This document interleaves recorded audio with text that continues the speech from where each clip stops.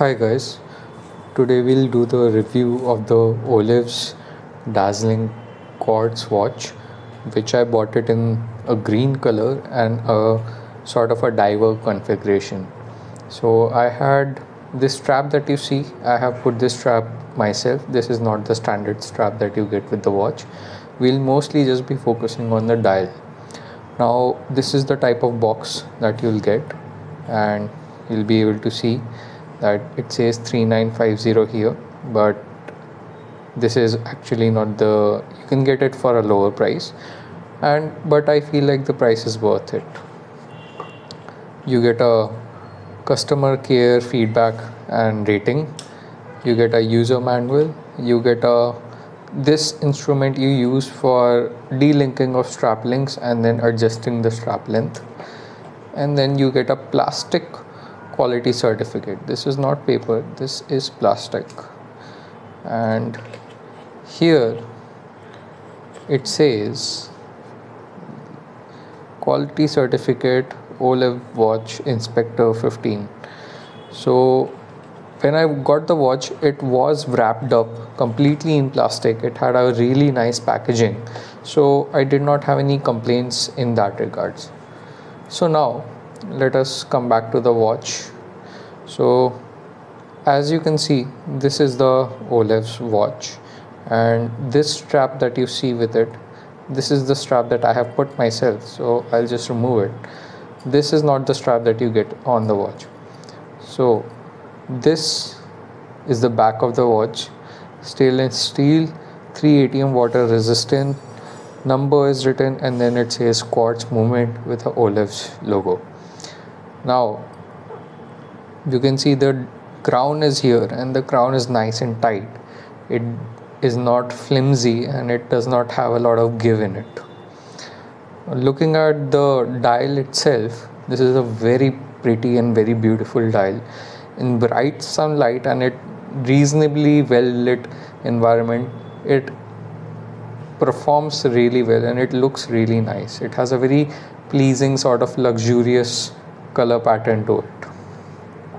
Now let us talk about what I feel. Now I'll just show you that if you can listen to the sound of this uh, dial it has really reassuring and very solid clicks in it and it does not have a lot of give. If you see if I hold the watch very properly this is the amount of give that you'll have. It, will, it goes back but once you move it move your fingers it comes back to position.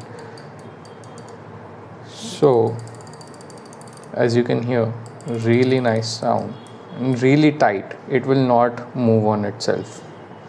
Now one thing to note this piece that you see here i'll just try to focus the camera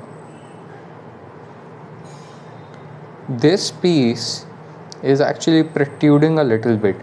It is in fact a inlay of some sort and it is protruding and it has been adhered here. And these marks that you see these are not engraved. These have been sort of printed or etched onto it. There is a sort of golden finish a fake gold kind of uh, finish but it doesn't look bad. In my opinion if this is under artificial lighting but if you can see it has a really nice sunburst kind of effect wherein these two sides have a little uh, brighter texture and then the upper sides have a little darker texture and it moves. Once you adjust it towards the light it will react accordingly. Now it has the OLEVS symbol in it and it says uh, here dazzling quartz watch um, not a big fan of that. I hope that it wouldn't be there but it is unfortunately. Then it has a, a magnifying date icon in it and reasonably well clear and there's no issue in reading it as such. Uh, when you open the crown one stop it uh, changes the date and another stop changes the time. And if you can see unlike some of the timex watches the second hand moves exactly on the numbers that have been put there. It is not a little left and right it is exactly on the numbers.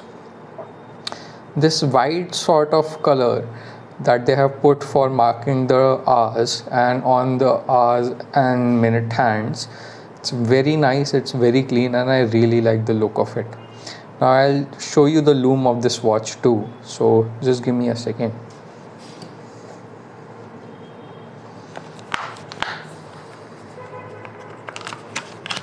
So I have got a flashlight here. Now what I'll do is I'll turn off this light and the camera will go blind for a moment.